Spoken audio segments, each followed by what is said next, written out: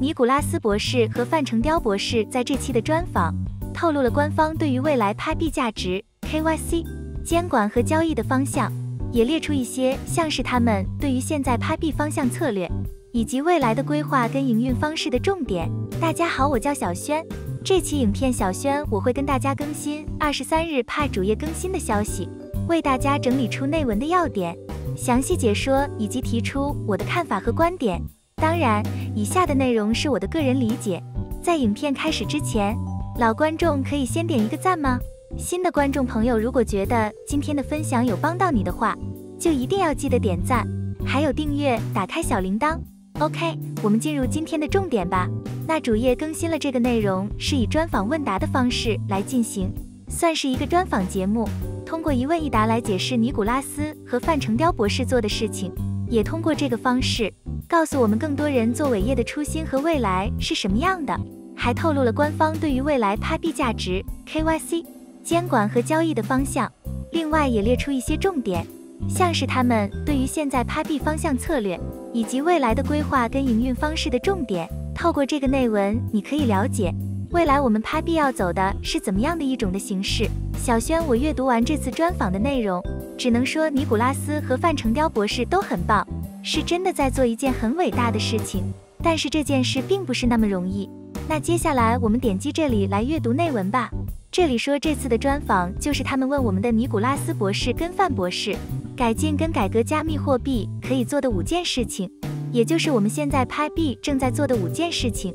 首先，前言这里说许多早期的加密货币已经把权力和价值整合到了极少数人的手中，而早期采用者则获得了极大的优势。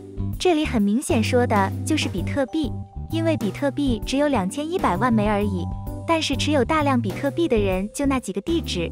目前拥有一枚比特币以上的人不超过总炒币人数的百分之五，说明现在能够买一枚比特币的人仍然是极少的。因为相比之前，比特币已经越来越贵，使很多人买不起一个比特币。真正的财富总会聚集在少数人手里，也就是说，目前筹码已经高度集中。少数人掌握了绝大部分筹码，所以为了兑现公平开放的点对点去中心化金融系统的承诺，加密货币行业需要看到广泛分布在广泛网络中的代币。所以这里看得出来，尼古拉斯博士要讲说，他其实更希望的是每人手中都有虚拟货币，都有派币，而且差距并不要太大，太大的话就好像现在一样，所谓的寡头垄断，这其实对派币未来发展并不是件好事情。所以，财富和权力的极度集中与去中心化的概念背道而驰。尼古拉斯博士和范成雕博士的背景简单介绍。首先，Tyler 的这篇文章开始就简单的介绍范博士和尼古拉斯博士。这边简单先介绍一下范博士是谁呢？范成雕博士是一位来自中国的美女，她不但是尼古拉斯的妻子，更是 Pi Network 的创始人之一。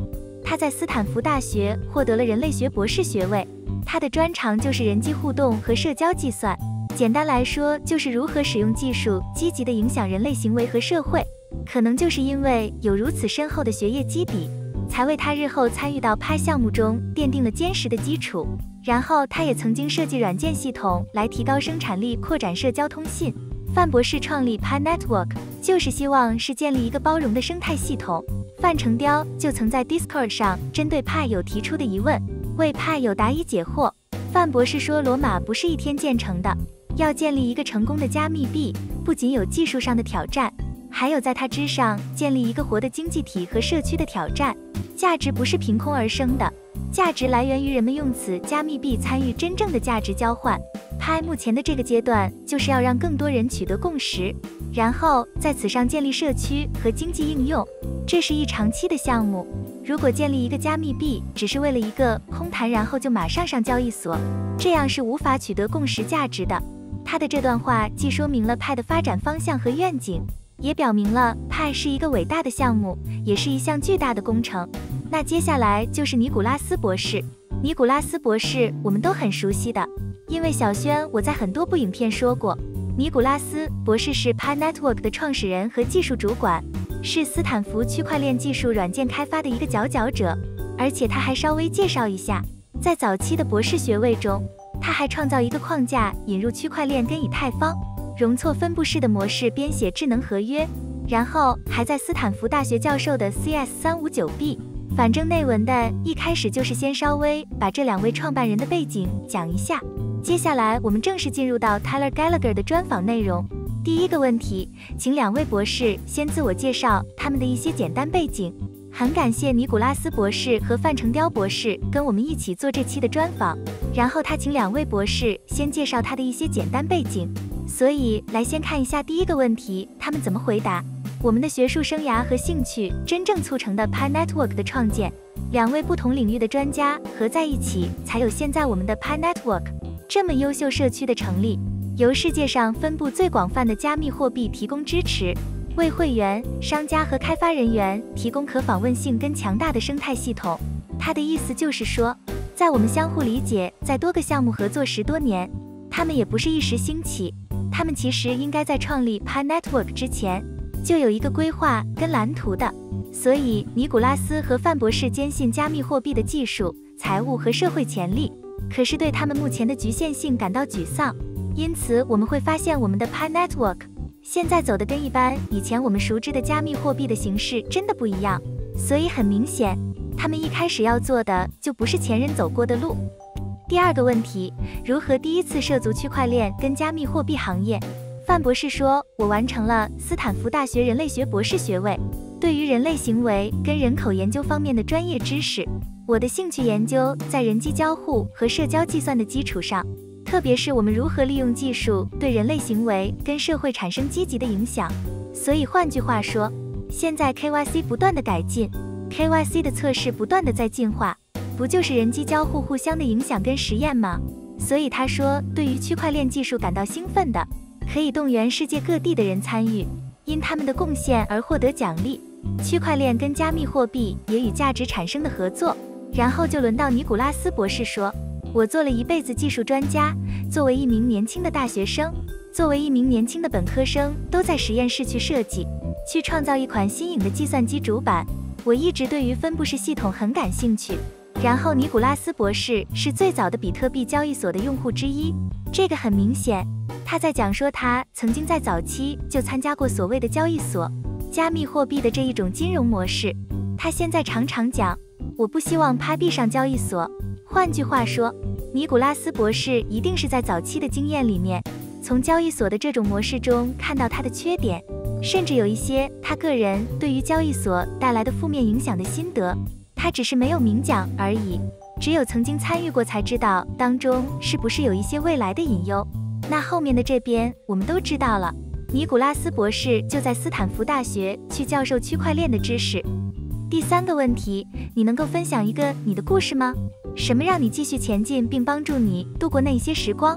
范博士说，迄今为止，我们面临最大的挑战之一就是大规模、广泛分布的网络，要找到一种可以扩展的 KYC。换句话说，这 KYC 模式绝对不会是好了就停止，KYC 是不断进化型的。有什么问题，遇到什么样的难点，就不断的去更新，所以前期必须走得非常的缓慢，必须很严谨，后期才能够在前期强大的基础上去顺利的演进跟迭代。所以现在没有可以负担得起 KYC 替代方案扩展到 Pi Network 的规模，就是说要用现在的 KYC 模式可以。现在 Pi Network 是三千五百万的活跃用户，但是未来如果我们的 Pi Network 增加到了一亿、五亿。用现金的 KYC 模式，到时候他才改来得及吗？而且用别人所研发出来的，也会担心当中有什么样的技术上的问题。所以范博士刚一开始自己做，可能预想到五年、十年之后好几倍的规模。范博士确实想得很远，所以 KYC 要确保好用户是真人操作，只要真人才能够参加这个生态系统。但是前提是一人一账号，而且一定是真的。这个说真的。讲的容易，做的难啊！现在的 KYC 就是机器自动化跟通过同行审查和验证的个人进行创新的众包人工验证相结合，这个真的是不容易，因为只要有人加入，就有很多不可控的因素，想办法让这些不可控的因素降到最低，而且发生问题之后能够随之改进，这真的是要很强大的基础建设才行。所以，虽然系统的机器自动化部分可以处理图像跟假、身份检测。但是人工验证、检查其他成员的编辑方面的数据，像突然说改名，这个机器人去审查要改名部分的话，那绝对是有一些盲点。那盲点就需要人工，而且还可以防止垃圾邮件跟阻止不良者行为之外，还可以帮助所谓的网络遵守的这种行为和建议。这是很棒的一种观念。所以在挑战的时候，我们保持动力跟专注是 Pi Network 的使命跟愿景。多管齐下的 KYC 解决方案才是一种 Pi 生态系统的运作方式。所以这个 KYC 系统绝对不会是指只有像现在一样，就简单的上传一下照片。然后眨眨眼就这样子，它会不断的通过不同方式去让它更完备，而且去中心化的社区里面，在这个社区里面为拍代币交换劳动力，创造真正的效用，不要涉及法定货币。这边也强调，范博士也认为说，所谓的拍币价值创造是在透过劳动力的交换、劳务的交换，这些都算货物、物品跟劳务的交换，才能够去制造出真正的价值。这也是回归到最原始人类互动之间，对于货币所产生的一种最基本的价值共识。第四个问题，根据你的经验，区块链公司应该考虑哪一些顶级战略来获得更强的竞争优势？这个是说 Pi Network 团队未来要走哪一个方向？那尼古拉斯博士说，这根据他们试图理解的差距或问题有很大差异。换句话说，就是谁看得远，谁看得更深，他们公司才能够走得更久。所以他常讲，我看过太多公司短期内取得巨大成功。其实 Pi Network 可以在今年就上主网，Pi Network 也可以在去年上主网。可是，一开始就给上主网就会砸盘，然后就会发现很多问题。接着你就看到我们 Pi 币越来越没有价值，然后炒作完之后，可能两到三年之后不见了。所以长期稳定增长，这个真的是不容易。人家讲一间公司，我们不要比谁跑得快。而是要比谁能够跑得久，这才是你加入 Pi Network 一个很重要安定心理的一种方式。所以炒作和兴奋以及强劲的经济等因素都使这一切成为可能。然而这些因素会随着市场情绪变化就会产生挑战。今年有多少交易所、多少项目失败？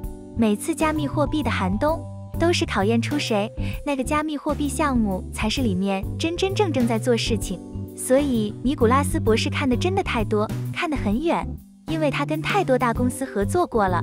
下面这个就比较像学者的口吻，很简单，你长时间一开始要花长时间培训教育以及灌输正确的观念，让你的用户知道说谁，或者甚至挑选谁才是能够加入你团队里面真正的基础建设基石。教育对加密货币感兴趣的，并帮助这些人从短期回归到长期成功。这才是尼古拉斯要做的，可是因为大家都喜欢炒短线，所以不容易做，但是会留下来的。我相信总有一天，我们坚持挖拍币的，绝对会享受拍币带给你的财富自由。第五个问题，区块链行业最让人兴奋的三件事情是什么？那范成雕博士先说，第一，彻底改变要改变货币体系的想法，因为现在加密货币你去兑换法币的这种模式，一定跟他们的理念是不合的。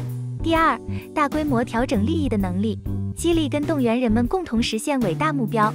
换句话说，调整利益的能力就代表说，你不是只有去挖矿然后换法币，真的要把所谓的劳动力附加的价值，真的赋能的这种体现，结合在你现在所拥有的拍币里面，这就是回归到最原始。讲白点，货币本身是没有价值的，就是因为人们赋给它价值，它才能够成为我们认为的货币形式。第三，区块链带来了新的创新应用程序和在线体验，我们更加坚定进入了 Web 三点零的世界。那接下来到尼古拉斯博士说，智能货币现在嵌入了金融功能，这些都是在强调不一样的金融观念模式，就在 Pi Network 上正在发生。世界作为一个大的社区的可能性会创造有用的案例研究，我们各国都有派友，我们的社区是全球性的。事实上，我们正处于这场革命的开端。类似于互联网刚刚出现，很少人一开始理解。现在人们都离不开互联网了，所以你会想想看，当你那时候还在用最开始那一代电脑时候，要等好久才能够连到电信网络公司上网，速度慢的要死。那时候没有几个人会使用电脑，到现在为止，谁离得开网络世界，对吗？可是中间至少经过了五年、十年，才有人意识到。才能够作为普遍性的使用。那我们是要第四年而已，所以还有多久？大家就自己想想看吧。你有没有办法忍受？你有没有办法陪着派一路成长？这取决于你的目光有多远。第六个问题，区块链行业让范博士和尼古拉斯担心的三件事情是什么？第一个，代币分布。虽然区块链的一个主要属性是去中心化，但是对于去中心化的关注主要还是在技术方面，不是技术本身。所以他在强调不要去比拼那种矿机，不要去比拼最新的矿机挖的速度多快。只有广泛分布的代币，也就是 POS 形式，才能够有效的帮助引导一个基于使用程序的生态系统，而是每个人都拥有，每个人都会使用，每个人都能够参与。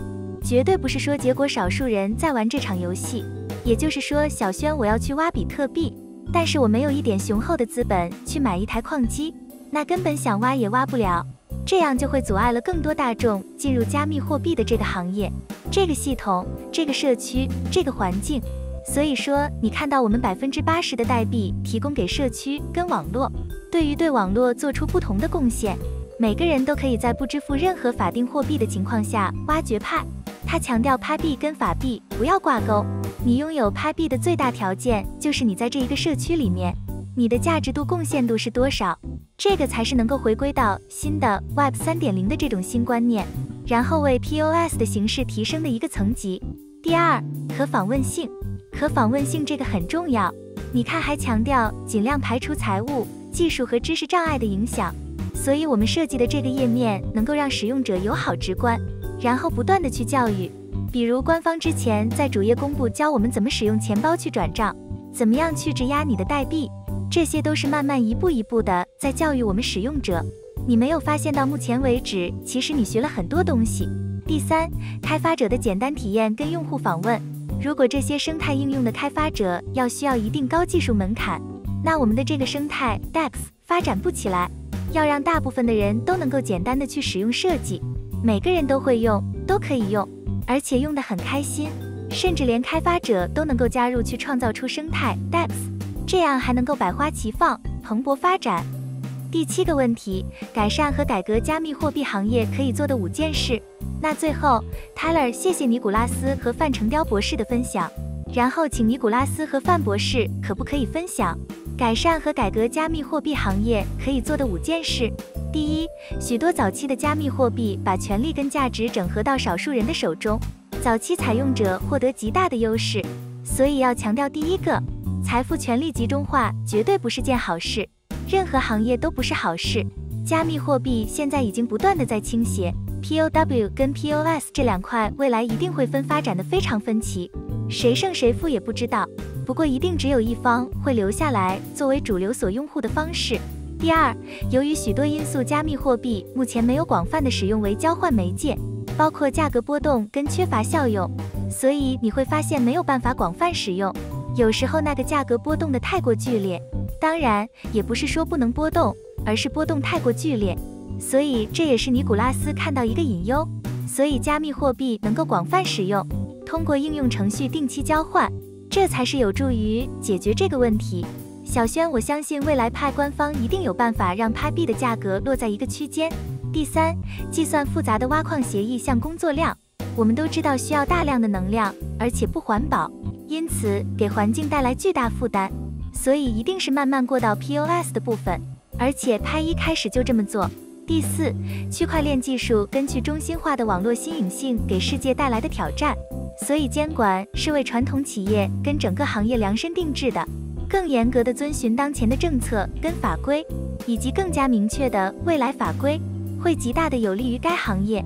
所以尼古拉斯博士他看得很清楚，你如果要在这个世界生存下去，除非国家这个概念不见了，这个观念不见了，不然的话，有多少国家就有不同多少的法律，你就有不同的规定要去遵守当地，不能跟国家对着干。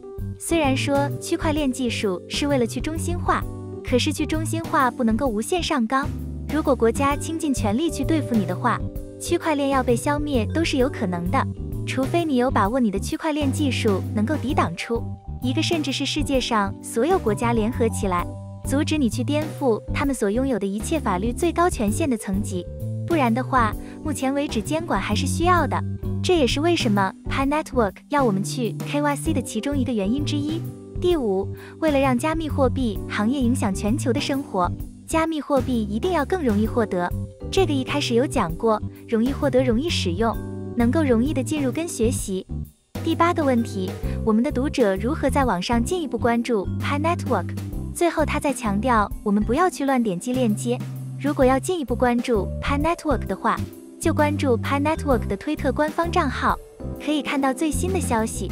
最后，我们简单的总结一下这期主页更新的重点吧。第一，尼古拉斯博士常说，Pi 币就是货币，不用上交易所跟法币兑换炒作。第二，KYC 的复杂跟严谨，必须是能够最大化杜绝任何虚假因素。只要有作弊的可能，他们就不会让 KYC 大规模的放出。至少他们现在要做到非常高的把握度。可能未来还是会有这些新技术的干扰，但是至少目前为止。他们就要想办法把它杜绝，才有可能大规模开放 KYC。第三，监管是必须的框架，加密货币不能够脱离国家政策的层级。第四，拍币最终的价格应该趋于稳定，不是不能波动，而非过度波动，不是像那些十倍币、百倍币、千倍币一路炒作上去。尼古拉斯博士绝对不让这种情况发生的。第五，控制不让拍币掌握在少数个体户的手中。那从这次更新的内容来看，大家看完之后可以自己去慢慢的细细体会。尼古拉斯博士、范成雕博士和派核心团队确实是在认真做事，他们致力于打造出一个未来 Web 三时代可以用的公有链。这个世界越来越需要改变，也需要一个更高维度的互联网，所以我们已经算是走在时代的前沿。准确的说，小轩，我认为 Pi Network 做的事情是未来必备的存在。也是为了 Web 三的开始而诞生在现在，许多事情都在遵循一些自然规律。当不好的事情发生的多了，自然规律就会做一些调整，而这些作为的调整，就是用新的存在替代陈旧而传统的存在，这是必然的，也是会出现的。坚持才是王道，认真提升自己才是目前的关键。OK，那今天影片就分享到这里了，拍友们，我们大家一起继续加油哦！我是小轩，谢谢大家的支持哟。